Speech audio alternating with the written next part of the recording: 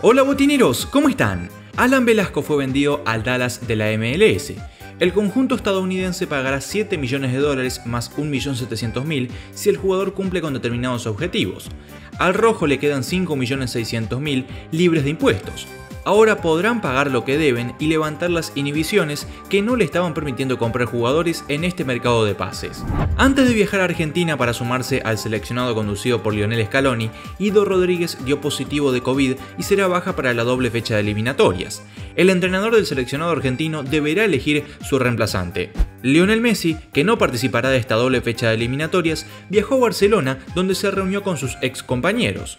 El astro rosarino se juntó con Sergio Busquets, Jordi Alba y Xavi Hernández, entrenador del equipo y quien cumple 42 años este 25 de enero.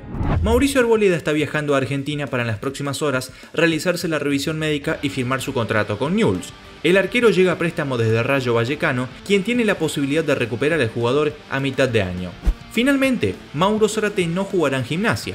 El delantero no aceptó la propuesta del Lobo y espera para definir su futuro.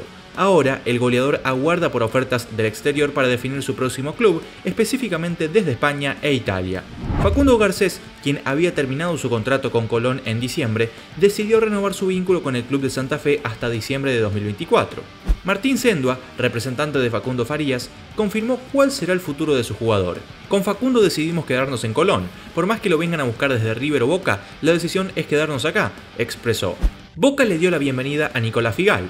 El defensor firmó su contrato y ya tuvo su primer entrenamiento junto a sus nuevos compañeros.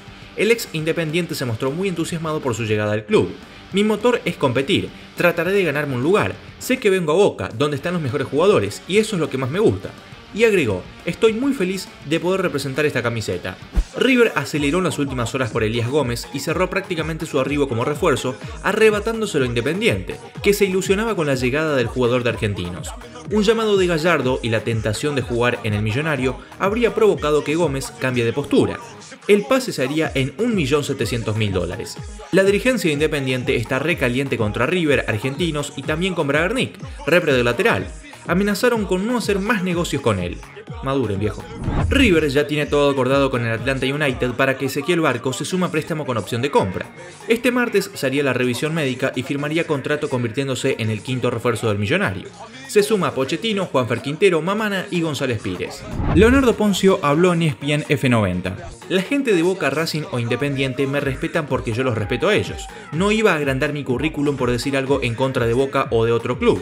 Además, confirmó que tendrá partido de despedida. Con los dirigentes de River estamos preparando mi partido de despedida, quizás sea en septiembre o octubre. Si te gustó este video, dale like y compartilo con tus amigos en redes sociales. Nosotros nos vemos en la próxima entrega. Chau chau.